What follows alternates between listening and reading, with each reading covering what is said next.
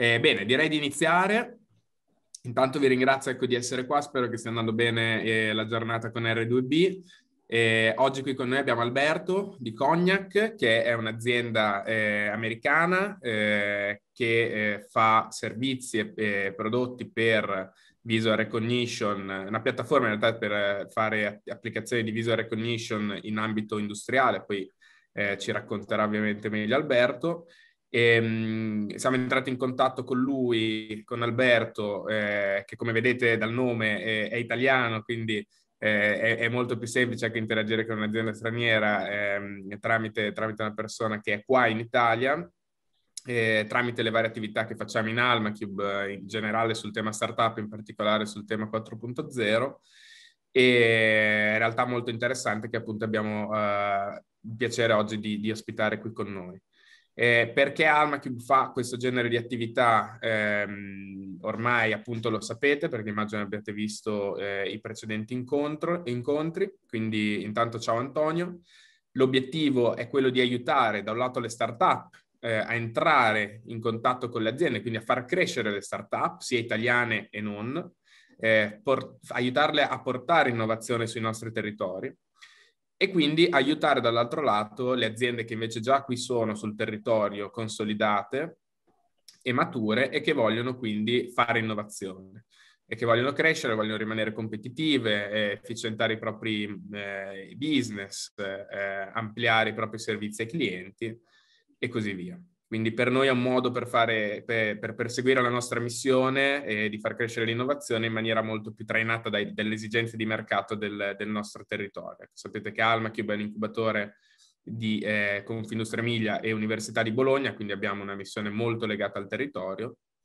e quindi cerchiamo di portare qui le tecnologie più, più interessanti appunto per il nostro ecosistema industriale. Eh, da, dalla transizione digitale, da quella che viene appunto definita industria 4.0, passano tante sfide, sfide di carattere sociale, economico, di competitività eh, e quindi eh, adesso insomma è tutto pronto eh, perché le tecnologie ci sono, sono mature, eh, forse sulla rete, l'infrastruttura qualcosa ancora c'è da fare, ma comunque eh, tutto aggirabile, tutto diciamo ostacoli non, non assolutamente insormontabili, ci sono gli incentivi, Speriamo che eh, Recovery Fund, eh, dovrebbe proprio essere così, dia una grande mano, un grande impulso a questa,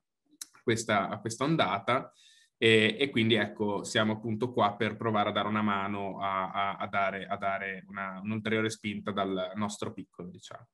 E, ehm, basta, eh, vi, vi, ringrazio ancora, eh, vi ricordo che appunto abbiamo adesso eh, la presentazione di Alberto eh, che sarà eh, anche, conte- conterrà anche dei casi pratici, e anzi su quello eh, ci piace dare la, il maggior focus. Alla fine ci sarà un momento di domande e risposte, ma anche in itinere sentitevi appunto liberi di scrivere e anzi ci fa piacere così rendiamo anche più interattiva e aiutate anche Alberto ad andare magari su quei punti che sono più di vostro mh, interesse diciamo. Eh, Alberto ti passo la parola e, e noi ci vediamo dopo. Grazie mille Nicola uh, e grazie ad AnnaCube per avermi invitato, è un piacere essere qua. E come hai detto, io faccio la mia presentazione, ma assolutamente cerchiamo di renderla interattiva. Io, il, il mio obiettivo per oggi è di cercare di stimolare l'interesse non necessariamente in Cognac, eh, ma in, uh, in, quello che potrebbe essere eh, una parte molto importante per le aziende per essere competitive in futuro. Quindi il, adesso vado a condividere la mia presentazione, eh, ma l'obiettivo di oggi è, non è tanto promuovere Cognia quanto eh, cercare di mettere, essere il grillo parlante dell'Industry 4.0, se si può usare questa definizione. Quindi il tema è proprio in, l'investimento, per investire in intelligenza artificiale per quale motivo? Una brevissima introduzione su Cognac, è un'azienda, um, noi abbiamo creato una piattaforma che utilizza l'intelligenza artificiale e il machine learning e, e, per quelli di voi che hanno già avuto esperienze con l'intelligenza artificiale e vision, vi chiedo la cortesia di cercare di dimenticare tutto quello che sapete e ripartire da zero, perché perché il modo in cui questo funziona è è fatto in modo intuitivo, non c'è bisogno di scrivere codice, non bisogna comprare hardware dedicato, non bisogna comprare telecamere dedicate, specificate su un, su un solo use case. Si parla di quello che definiamo superhuman vision, quindi la possibilità di insegnare a una macchina di fare il lavoro di un ispettore di qualità con grandissima efficienza. L'azienda è californiana, esistiamo da, da più di sei anni ormai e eh, stiamo crescendo molto velocemente. Io sono, eh, sto creando un team in Europa, abbiamo al momento eh, cinque persone, incluse me, ehm, anche tecniche, e lavoriamo con eh, grandi, grandi gruppi come SAP o Entity Data in Italia, per quelli di voi che la conoscono, una grossa azienda di servizi di integrazione, e siamo su una, una serie di acceleratori come Synerlip che è di ABB, quindi sulla parte robotica, AlmaCube che è piacere di eh, oggi, sulla, sul, partner, eh, sul partner network di, di SAP, ehm, e anche di plug and play, quindi cerchiamo di far arrivare la nostra voce ovunque. Ehm, quello che ci rende diversi, è quando vi ho chiesto di dimenticare cos'è, cos'era l'intelligenza artificiale, è che la nostra piattaforma impara e crea automaticamente, indipendentemente il, il, i modelli di intelligenza artificiale che sono richiesti per quel tipo di lavoro. Quindi non usiamo librerie preesistenti, non abbiamo bisogno di decine di migliaia di foto, ce ne bastano qualche centinaio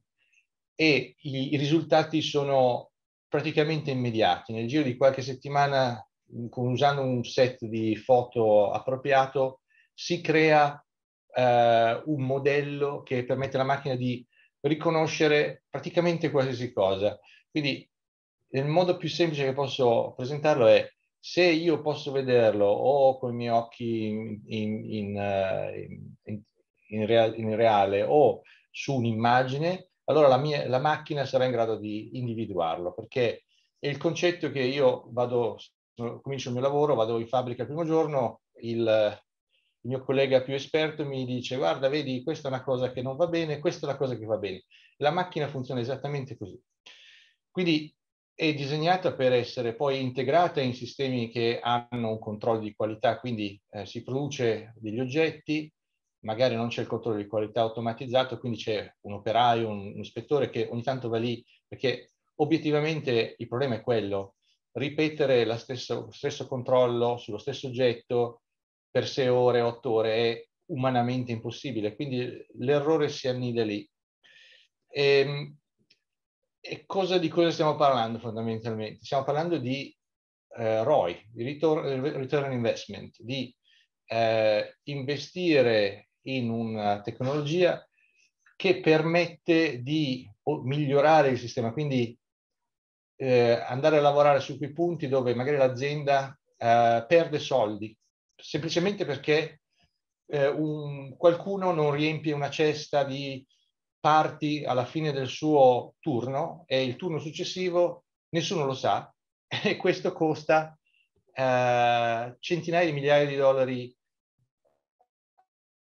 alle aziende per cui lavoriamo, ma il, il, concetto è lo stesso, perché poi noi nel corso del tempo siamo riusciti a creare un, una, un range di soluzioni che lavora benissimo, sia l'intelligenza artificiale è la stessa, però funziona sia su problemi più semplici che su problemi complessi. Quindi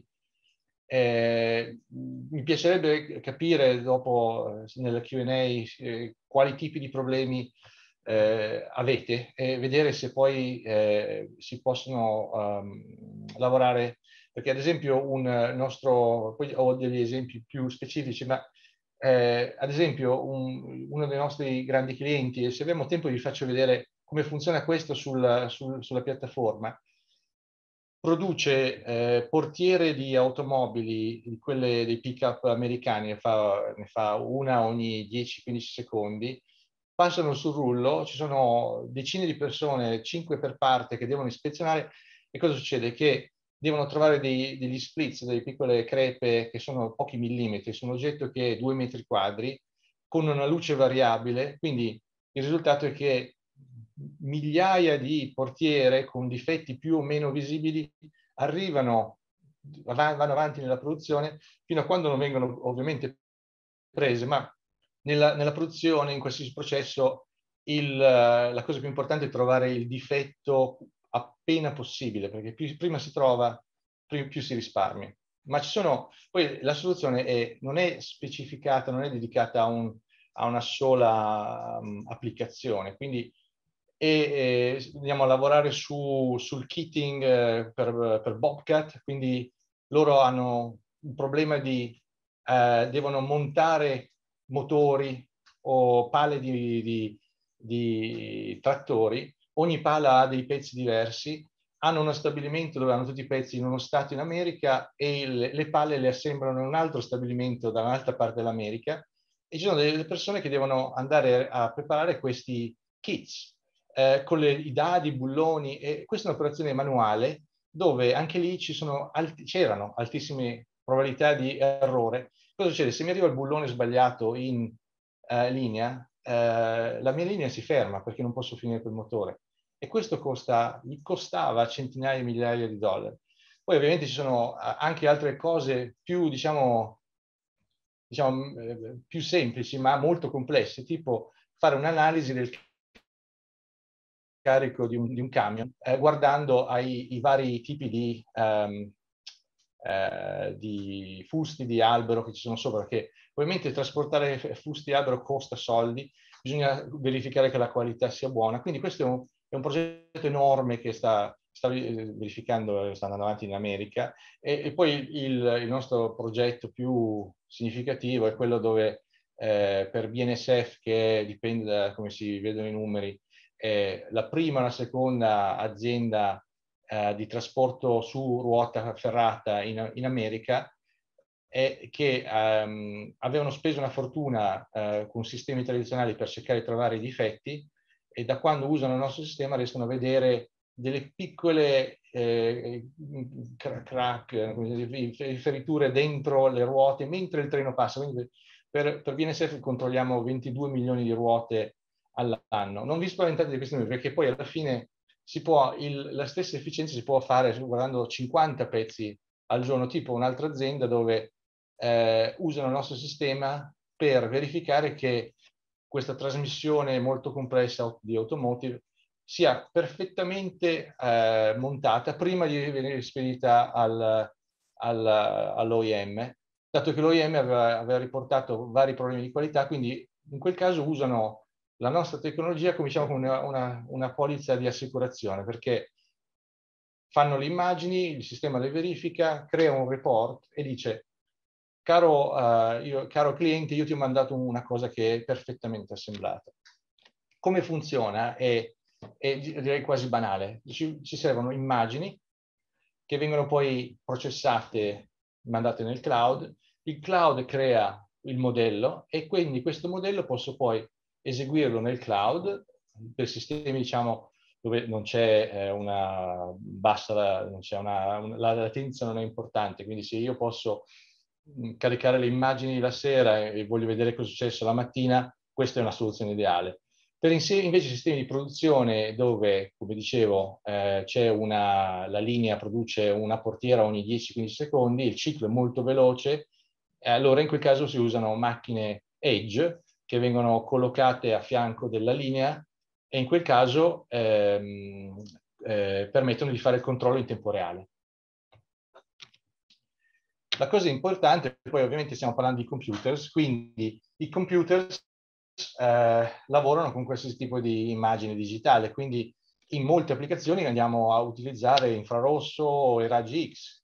perché anche lì tante operazioni, cosa succede? Che io monto il, la mia batteria o il mio sistema di riscaldamento dentro il sedile e poi non so se è stato montato correttamente, sono sistemi pericolosi perché se non sono stati eh, collegati correttamente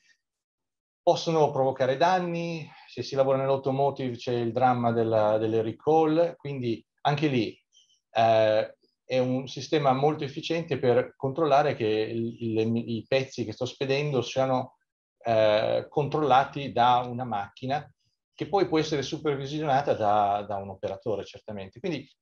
banalmente quello che, quello che, ci serve è, è, per creare il modello eh, un po' di immagini di quella parte, di quell'oggetto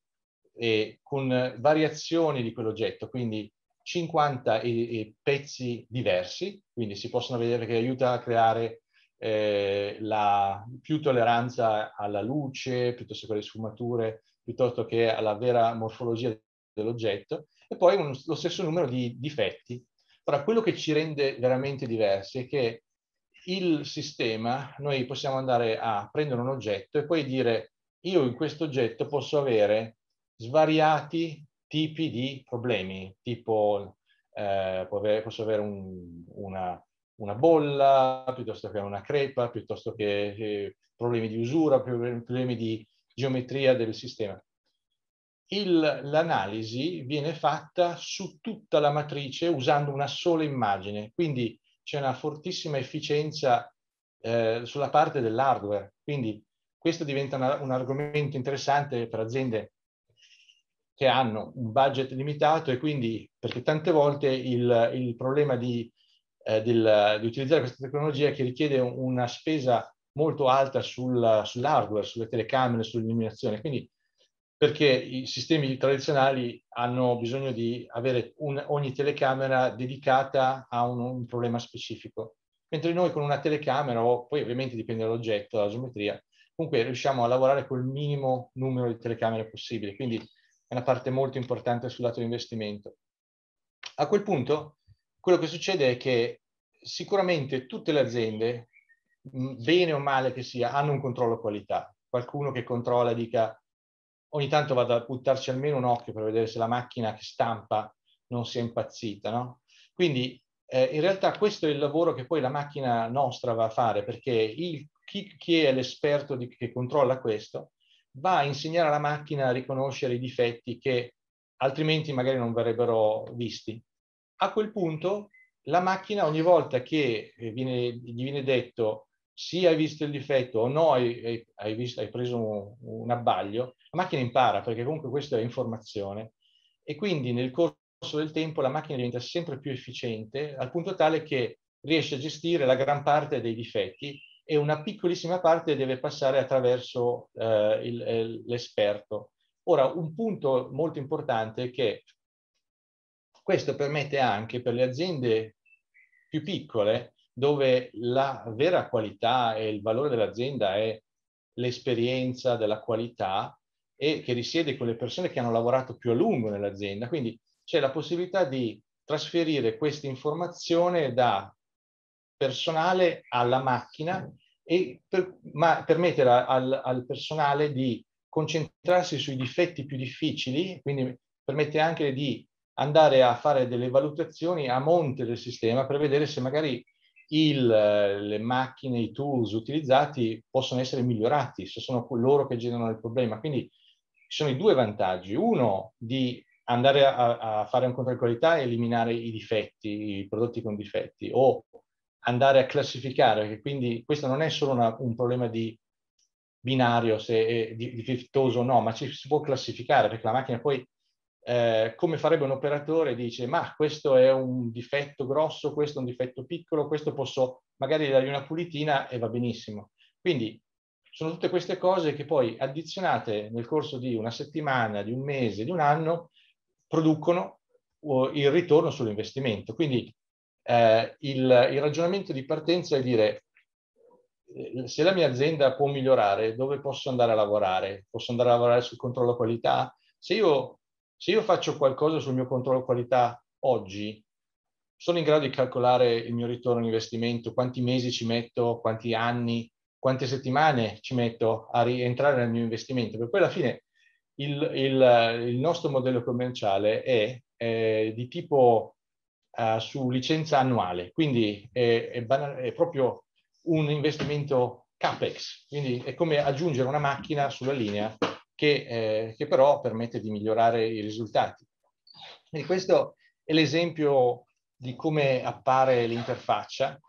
e infatti io pensavo a questo punto, se possibile, piuttosto che farvi vedere le slides, di farvi vedere come funziona, datemi un secondo, come funziona in realtà questo sistema, perché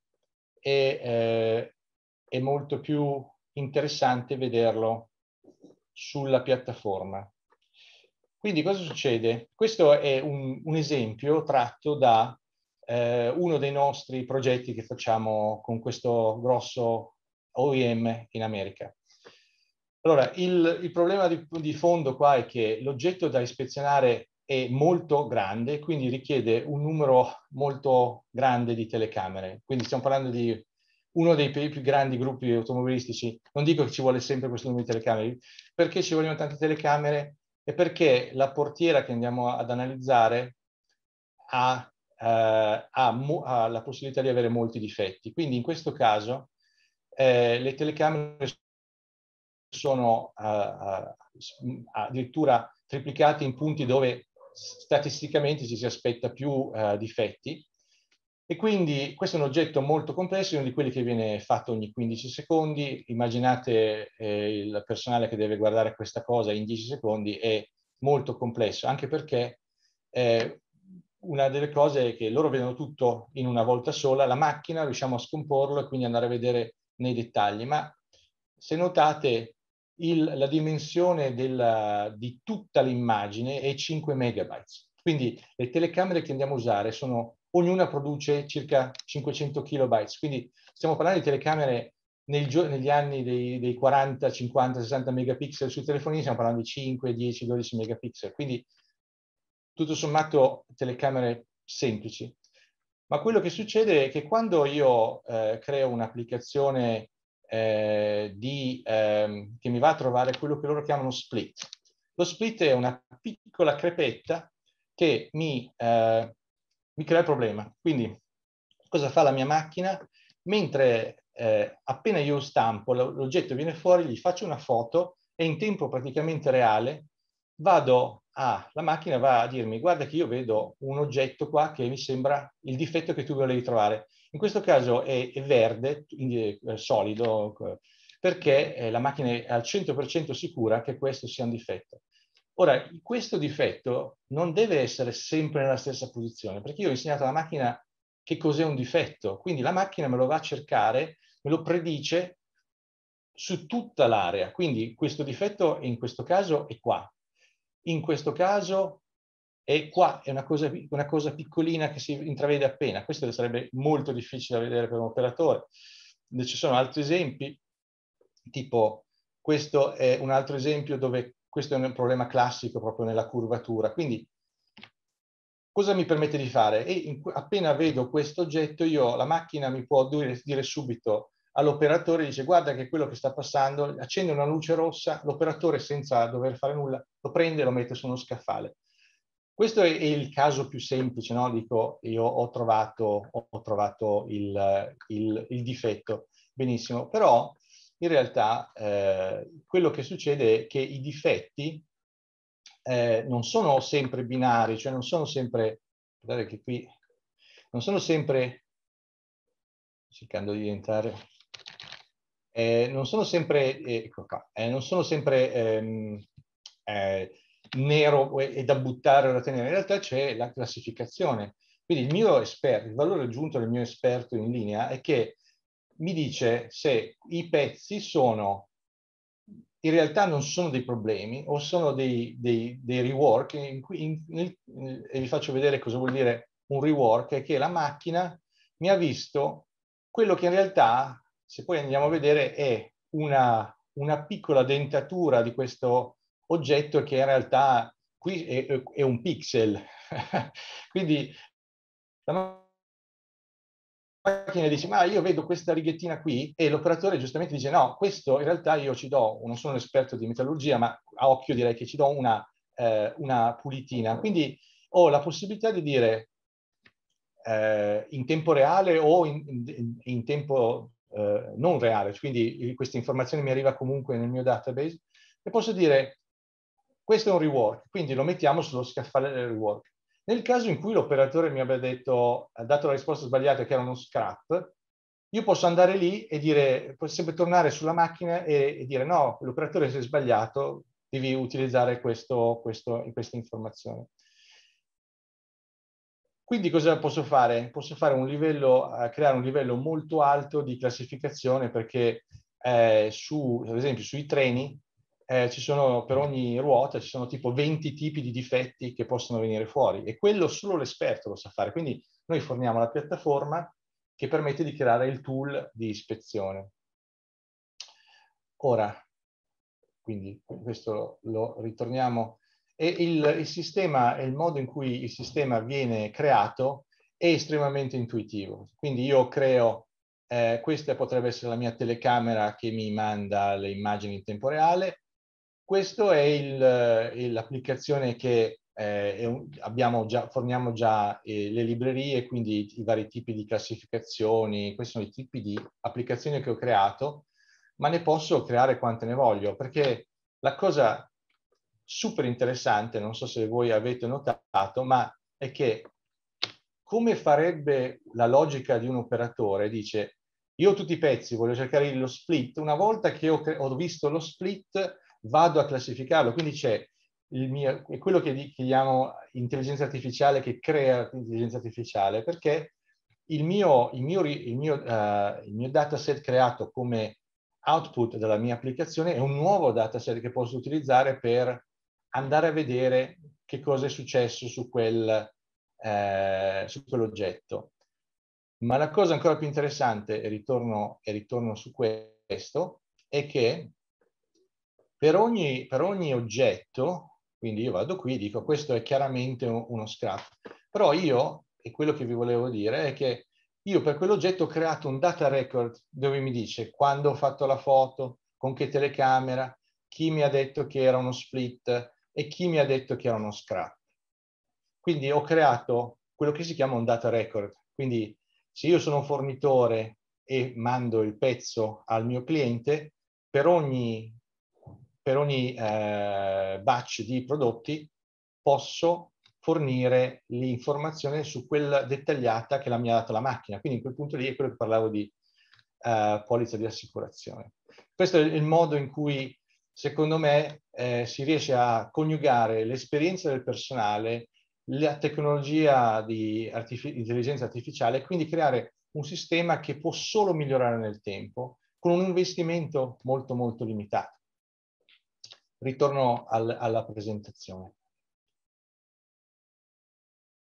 Fatemi, eccomi qua. Quindi Uh, quindi questo è, è, per quello che sono andato sul sistema perché è molto più, mm, qui abbiamo l'esempio dei camion, ma è quello che mi piaceva, data che ho visto che abbiamo persone che fanno, lavorano sul uh, manufacturing in generale. Quindi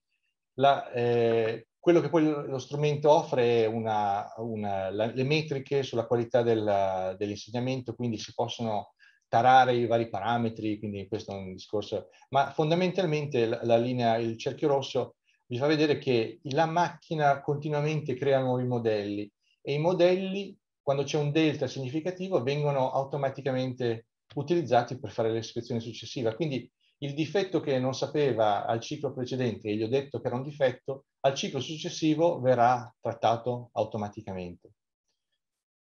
E quindi questo vi ho fatto vedere praticamente come funziona in linea eh, il, il, customer case e qui il loro risparmio è sui circa 8 milioni di dollari per linea e ne facciamo una quindicina, ma non costiamo 8 milioni di dollari, mi piacerebbe molto, ma questo è l'esempio che magari alcune aziende che ci stanno ascoltando hanno questo problema, il, il problema di avere non sapere esattamente cosa c'è in magazzino o cosa viene consegnato, cosa viene spedito. Quindi noi in questo caso eh, andiamo a fare una fotografia del contenuto della scatola dopo che abbiamo classificato circa 20.000 oggetti. Quindi il problema non è andare a riconoscere l'oggetto singolo, ma la combinazione dentro la scatola di 10-15 oggetti che poi vengono da un database di 20.000 oggetti. Quindi, ma anche lì la, i, la differenza fondamentale è che fare il training di artificial intelligence l'intelligenza artificiale, i sistemi passati, richiedeva di fare, di creare un modello con tutte le permutazioni e con tutti gli errori. Per quello ci volevano mesi e un sacco di tempo di scrivere codice. In questo caso ogni volta che si nota un difetto, cioè che manca un dado, il dado è sbagliato, quella foto diventa l'esempio per la macchina per sapere in futuro. Quindi si va a creare un database che in realtà sugli errori che succedono più frequentemente o anche meno frequentemente. Quindi se poi io comincio a fare kits per un eh, modello, fatto il modello 2020, comincio a fare il modello 2021, non riparto da zero, ma posso fare il training nello stesso modo velocemente. Quindi per quello che non solo mi, dà, mi risolve il problema adesso, ma mi dà una soluzione molto flessibile andando avanti nel, nella mia azienda. Questo vi ho parlato di BNSF, questi sono il controllo dei, dei carichi dei, dei, degli alberi, dei, dei fusti, del, della legna. Per BNSF facciamo il controllo di 22 milioni di ruote in tempo reale al mese e con telecamere eh, su video gli facciamo 30.000, circa 50.000 km di ferrovia. E per una linea ferroviaria eh, avere un diragliamento costa tra i 2 e i 5 milioni di dollari, mi sembra, sì, 2, 2 e 5 milioni di dollari. E loro ci hanno detto che da, degli ultimi 12 mesi hanno evitato una, un centinaio, quindi gli hanno fatto risparmiare una cifra enorme. Qui c'è una carrellata di eh, vari tipi, quindi eh, di, di, case che abbiamo coperto, quindi stamping, certamente paint. Eh, il caso interessante del, il, delle, dei pneumatici non è tanto per i pneumatici, ma il fatto che eh, se avete oggetti che sono, arrivano, escono in, in posizioni diverse, il sistema è in grado di ricalibrarsi e trovare, non so, la scritta sul pneumatico piuttosto che sul, sul pacco merci, eh, la parte di logistica dove eh, si può fare la foto al, al, camion e si può vedere, creare diciamo la bolla digitale, no? Quindi posso mettere una telecamera eh, sull'area di carico o di scarico del, del, camion e una telecamera che mi fa l'immagine della, della, della targa, si insegna gli oggetti che vengono scaricati e caricati e la, la, macchina mi crea una bolla digitale che poi posso andare a confrontare con la bolla che è arrivata col camion. E tante volte succede che lo stesso eh, autista che deve scaricare, quindi ovviamente hanno fretta e dicono, beh io ah, sono arrivato, devo scaricare, non è il mio problema cosa ne fai, io, il mio problema è portartelo qua. Quindi arrivo, scarico, poi te lo sbrighi tu. E abbiamo clienti che hanno centinaia di motori sparsi per il mondo perché è successo questo, clienti che hanno, gli arrivano rotoli di una o due tonnellate di acciaio che costa tra i 1000 e i 1200 dollari l'uno, arriva il camionista, li scarica, se ne va perché deve fare il prossimo giro. E questi ogni volta che sbagliano sono 1000 dollari, eh, ne, ne, ne, ne usano centinaia di migliaia all'anno, alla fine hanno un ammanco che solo per un impianto è 600.000 euro quindi mettendo un sistema che controlla dove va a finire la roba risparmiano quasi istantaneamente 600 mila euro. Quindi sono questi discorsi cui andiamo a lavorare. Poi ci sono i, il controllo dei containers. Questo è l'esempio di quello che facciamo su, sulla ferrovia, le, le, il, il track, nut and bolts, quindi sono dadi e bulloni che possono saltare, il, il, il il caso dei containers, ma anche nel, della metallurgia in generale, andare a valutare la qualità della corrosione eh, su, sui prodotti. Eh, sulla produzione di manufacturing, ad esempio, ci sono degli esempi interessanti sul controllo della qualità di prodotti di cibo, quindi eh, che il cioccolatino sia sistemato correttamente dentro la confezione, che sia correttamente uh, uh, preparato, eh, che non ci siano biscotti rotti. Parlavo con un, un amico che lavora in una, in una, produzione di piadine industriali e hanno problemi dove tante piadine eh, eh, arrivano o, o, cotte o, o sformate e su, ne fanno 100 al minuto. Non so quanto costa una piadina, ma dico se, se ne arrivano 20 sbagliate per ciclo e, e i, i conti si fanno in fretta, quindi se io becco la piadina che è stata messa male e la tolgo invece di farla cuocere nel forno, ho risparmiato quel tempo di cottura. Mio, quindi sono tutte cose che si vanno a addizionare. Ho tra, non ho trasportato una piadina che poi non, mio, non verrà venduta sullo scaffale. Sono anche poi adesso con il Covid, ovviamente ci sono problemi di controllare che ci personale porti la mascherina, adesso speriamo che il Covid vada via, però ci sono altre cose come controllare che abbiano il casco, il l'IVS vest, tutte cose che possono essere molto importanti, ovviamente dentro la logica del GDPR, quindi nel momento in cui vado a, fare, uh, a, a salvare questa informazione, il, il GDPR mi impone che tutte le informazioni che sto eh, archiviando viene cancellata, quindi viene anonimizzata. Come funziona in, in, in arrivare in, in, fabbrica è, è la parte, il modello viene creato nel cloud, se un problema, di, un problema che richiede eh, bassa latenza, la soluzione è il computer edge, che poi anche va a inserirsi in contesti dove magari eh, tipo più militari o so, parlavo con uh, un'azienda che produce, fa l'analisi di, deve fare l'analisi ehm, delle barre di uranio dentro i reattori nucleari e loro ovviamente non vogliono avere questa informazione che circola su internet e quindi lo facciamo uh, internamente dentro il loro firewall. Però ci sono tutte, quindi sono tutte le soluzioni che permettono di, di lavorare con soluzioni più semplici dove magari l'informazione non è così importante, quindi posso lavorare eh, direttamente sul cloud e ho un costo molto basso, posso, mi basta una telecamera e, e educare il sistema. Dove ho la latenza c'è un investimento sulla parte di Edge, ma L'Edge computer lo forniamo come parte della licenza, quindi anche lì non c'è un costo hardware, il costo, noi siamo un'azienda che fa software, il, il, computer è un male necessario, come si dice, oppure per aziende più grandi dove c'è di solito il dipartimento di IT che impone eh, sicurezza e di trasmissione via te, questo il, il sistema può essere trasferito tutto all'interno del firewall.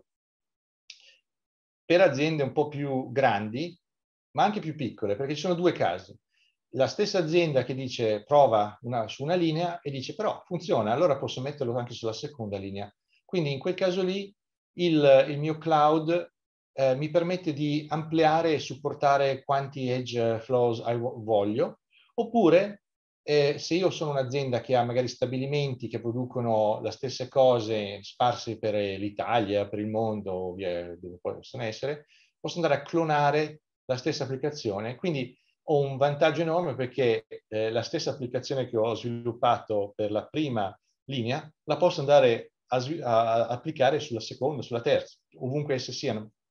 Poi questo è il vantaggio di lavorare col cloud. Quindi lì c'è il ritorno investimento è ancora più alto perché il costo di avviamento di una seconda, una terza linea è decisamente più basso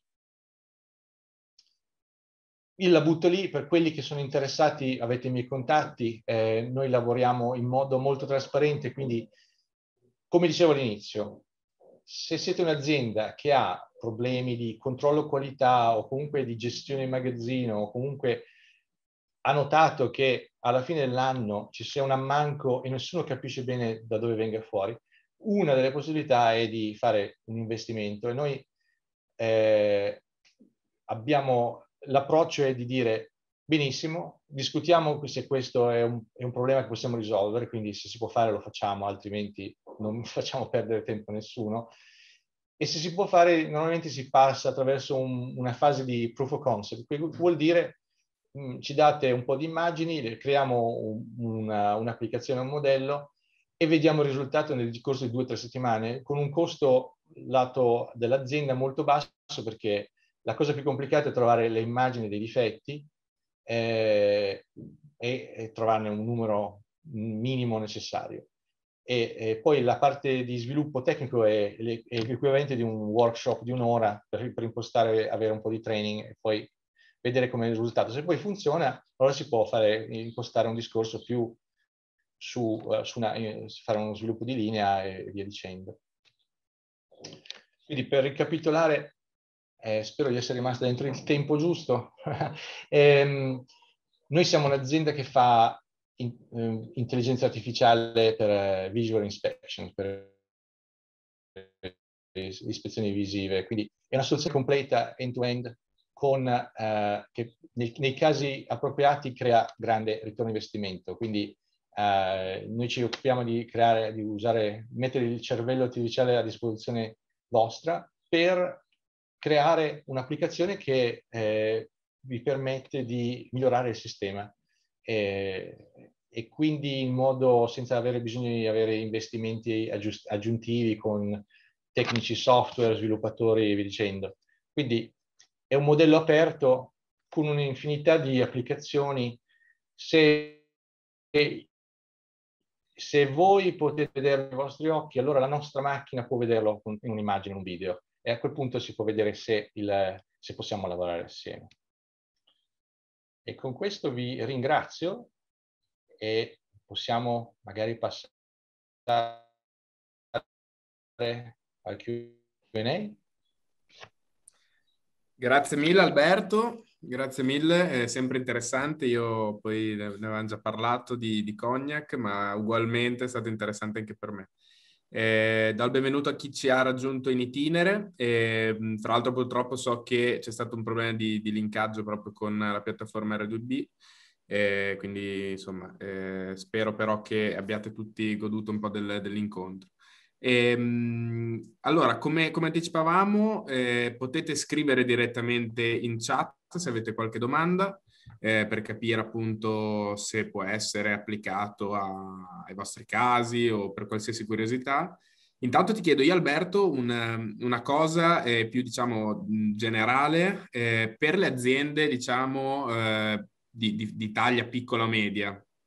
Quali sono gli ostacoli che solitamente tu eh, incontri e che quindi eh, e quindi quali possono essere alcuni consigli eh, da dare ai nostri ospiti per, come dire, agevolare effettivamente l'introduzione di queste tecnologie in azienda, eh, fare avviare il dialogo internamente all'azienda e quindi eh, effettivamente riuscire a, a, ad attrarre quel valore che voi potete proporre. Sì, no, questa è un'ottima domanda. Il, diciamo che il, il punto di partenza è come accennavo prima, è, è, è, capire se ci sono delle parti dell'azienda che uh, potrebbero essere migliorate. Cioè la domanda da porsi è eh, qual è la differenza tra non fare nulla e avere problemi oppure rischiare di fare un investimento e vedere eh, quanto questo investimento mi, quanto ci metto a rientrare nell'investimento e a generare un margine che altrimenti facendo nulla non avrei. Mi spiego meglio.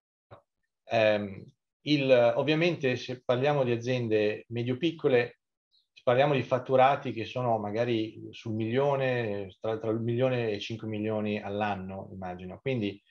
in questo caso eh, la differenza tra fare, eh, un, un, un, avere un margine o non avere il margine è, diciamo, eh, molto, no? ci va a toccare problemi di, di cash flow e, e, via dicendo. Quindi è molto importante essere in grado di avere prodotti di qualità di cui l'Italia, mi vanto sempre con i miei, eh, con i miei colleghi, l'Italia è famosa per produrre qualità nel mondo. Quindi eh, l'investimento in questo momento è di utilizzare le, le, l'intelligenza artificiale per migliorare il processo in generale e questo non deve essere visto come un processo, un, diciamo una, un, una cosa a breve termine, ma come un, un, investimento che permette di migliorare l'azienda. Nel momento in cui io libero, riesco a creare un margine e un, ritorno sul mio investimento, ho creato del, un margine che prima non avevo, semplicemente perché magari facevo 10 pezzi ro, rotti al, al, al, al mese e questi mi, poi mi finivano nel caso peggiore mi finivano al mio cliente, il mio cliente mi, eh, mi, mi non era contento. Quindi, quindi, c'è anche un fatto di, di migliorare la competitività. E quindi in, in, modo molto onesto e trasparente dico, bisogna fare i conti, dire se, se faccio nulla cosa succede? Se investo 50.000 euro qual è, qual è, quanto ci rimetto, quanto ci metto a rientrare in 50.000 euro di, di controllo qualità? La domanda è questa. Quindi siamo, non stiamo parlando di cifre enormi, stiamo parlando di cifre che eh, sono, stiamo parlando di CAPEX, quindi sono cifre che possono essere messe a bilancio e spalmate nel corso di due o tre anni, quindi 50.000 euro di investimento o qualcosa di quel tipo, alla fine mi costano il, il, controllo di qualità su un processo, un processo anche semplice, mi costa 1.000-2.000 euro al mese e quanti pezzi uh, beccati che non finiscono a, a, mo, a, valle, a monte del, del progetto mi, mi, mi, sono equivale. È un, un conto molto, molto semplice. Sì, senza considerare poi ovviamente ci sono tutte eh, le agevolazioni del caso, quindi anche su esatto, che... esatto, quindi c'è in certi casi comunque il Covid penso che resterà, comunque formerà dei, dei, dei, dei problemi a lungo termine, quindi eh, magari una, un problema che risolvevo mettendo tre persone a fare il controllo di qualità linea linea, fine linea, adesso non posso avere tre persone in un metro quadro. O per un po' di tempo sarà impossibile, quindi o avere tre persone per tre turni di otto ore l'uno che mi controllano. Quindi bisogna fare anche questo ragionamento, quindi investire sul, sull'automazione e comunque trattenere questo, su questo sono molto è un tema molto forte per me. Comunque tiene l'esperienza e l'informazione che, che ho creato nell'azienda, e quello è il mio valore. Grazie mille Alberto. E comunque riceverete sicuramente ecco, i contatti anche di Alberto se, se, se vorrete appunto approfondire, eh, se vorrete approfondire anche con noi in generale sulla tematica, eh, scriveteci e gen- altrettanto diciamo dateci anche feedback diciamo su eh, il taglio che stiamo dando uh, nostri, alle nostre iniziative, quindi questo ciclo di webinar, eh, poi abbiamo citato prima il, um, il questionario di auto-assessment e poi altre iniziative che, eh, che stiamo mandando avanti. E, allora, se non ci sono altre domande, io comunque eh, vi ringrazio, ehm, riceverete Nick, comunque eh, scusa, alcuni contri. Scusa al volo se ti interrompo, eh, mando in questo momento in chat eh, un paio di link che possono essere utili per chi si è collegato in itinere dalla piattaforma di R2B e dove il primo lo trovate è il form di registrazione per i prossimi incontri, che ne mancano ancora eh, due o tre da programma, sempre all'interno del ciclo Pillole 4.0. E il secondo invece è relativo proprio al, al form che citavi tu eh, in introduzione, Nick. Ecco, scusa, solo questo. Grazie mille, ecco, quindi, eh, e poi avete anche il contatto mail della, della, nostra unit in AlmaCube, quindi anche lì potete scriverci per qualsiasi eh, informazione. Bene, grazie ancora, spero abbiate un buon proseguimento all'interno di R2B, ringrazio soprattutto Alberto. Grazie a voi. E ci vediamo al prossimo incontro. Ciao a tutti. Grazie Alberto. Grazie a voi, buona giornata, grazie. Pertanto.